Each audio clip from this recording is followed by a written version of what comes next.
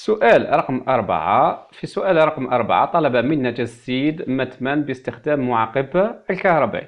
أول شيء نبدأ به المعقب الكهربائي وهو تغذية المقاييس. وتعلمون أن المعقب الكهربائي يغذى بجهد 24 فولت مستمر. لذلك وجب علينا إحضار محول والمقاوم ونستطيع إضافة المكثفة. نغذي المقياس الأول 50 ونغذي مقياس 51 وكما تلاحظون 51 و 52 و 53 كتلة واحدة. كلهم يتغذون ب 24 فولت مستمر. بعدها يجب استعانة بمعادلة التنشيط والتخمين. فالمرحلة الإبتدائية ينشطها مرحلة x53 في x5 بار زائد x 200 كما تلاحظون المراحل وضعتها باللون الأحمر وشروط الانتقال باللون الأسود.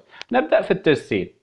أولا قلت لكم آه، مرحلة الإبتدائية ينشطها x 200 أي نغذي التماس بالقطب الموجب ومخرج x 200 نوصله مباشرة ب O4 و O4 مربوطة بالوشيعات التنشيط. في حالة غلق x 200 ينشط x 50 مباشرة. في هذه الحالة طبقت x 200 وبقي لي x 53 في x 5 بار x 53 كما تلاحظون مخرج F2 هي معادلة X53 مربوطة ب O1 و O1 و O4 دائرة مفتوحة. في هذه الحالة تصبح المعادلة X53 في صفر. لماذا صفر؟ لأنه ما بين O1 و O4 دائرة مفتوحة إذا شرط الانتقال يكون ما بين O1 و O4 إذا هنا نضيف تماس مغلق في حالة راحة أما التخميل X51 يخملها X 50 يخمله مقياس X 51 أي نخمله عن طريق المخرج F واحد ونربطه بالمدخل F 3 و F 3 هو مدخل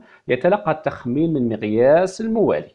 في هذه الحالة أنهيت المقياس الأول نذهب إلى مقياس x 51 x 51 ينشطها المقياس x 50 نربط بهذا الشكل تصبح x 50 في صفر دائرة مفتوحة. وما بين وبين O1 و O4 نكمل شروط الانتقال. x 5 في x 104 تماسين على تسلسل مفتوحين في حالة راح أما التخميل يخمله المقياس x 52 أو x 200 إذا التماس الثاني الذي بقي لي نربطه بمدخل مسح الجمعي أو مدخل تخميل جمعي في حالة تنشيط إكس 200 ينشط المقياس الأول وتخمل باقي المراحل.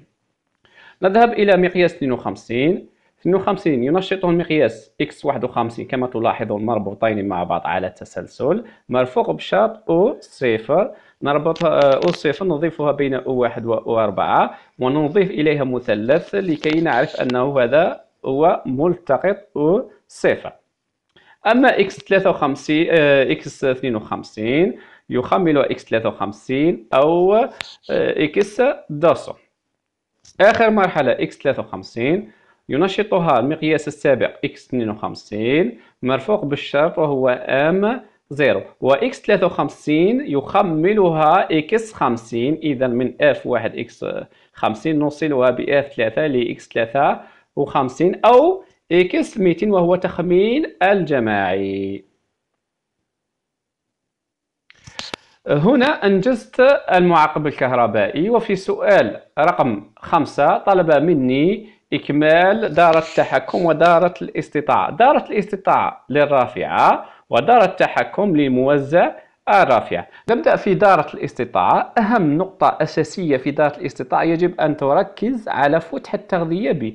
أينما تجد فتح التغذية ب أربط السهمين. إذا أنبوبي رافعة يربطا بهذا السهمين. السهم الأول يذهب الهواء إلى الغرفة الخلفية والسهم الثاني وهو تسريب الهواء. دائما ركزوا على فتح التغذية ب وأربطوا الرافعة حذاري أن تربطوا الرافعة بهذا خطين. وطلب مني كذلك آه، إكمال دارة التحكم. نلاحظ أنه يوجد ملمسين. كيف نكمل هذا الملمسين؟ نذهب إلى المتمم لاحظوا x50 لا يوجد فعل x51 يوجد فعل وهو دي أو ناقص. أين هي دي أو ناقص؟ وهو الجزء الموجود في الموزع دي أو ناقص يساهم في إدخال ساق رافعة في هذه الحالة هذا التماس يكون x 51 نذهب إلى مرحلة بعد x52 كذلك يوجد فيها الفعل. ما هو الفعل؟ الفعل هو كأم22 أين هي كأم22؟ إنها هنا. في هذه الحالة نربطها بالتماس ونسمي في هذه الحالة x52 أما 53 لا يوجد فعل. عندما يغلق التماس x5 و x104 يمر التيار E إلى O4 وبالتالي ينشط المقياس X51 وعندما ينشط X151 يعكس حالة التماسات X51 كما تلاحظون X51 آه، في حالة راحة مفتوح وبالتالي يغلق. عند غلقه يمر التيار بهذا الشكل ثم آه، يذهب إلى دو ناقص فتنعكس حالة الموزع وبالتالي يتم إدخال ساق رافعة عندما يتحقق أو صفر ملتقط نهاية الشوط رافعة أو صفر ينشط X 52 ويخمل 51 وبالتالي يفتح ملمس X 51 ويغلق ملمس X 52 وبالتالي يمر التيار إلى KM 22 وبعدها يدور المحرك.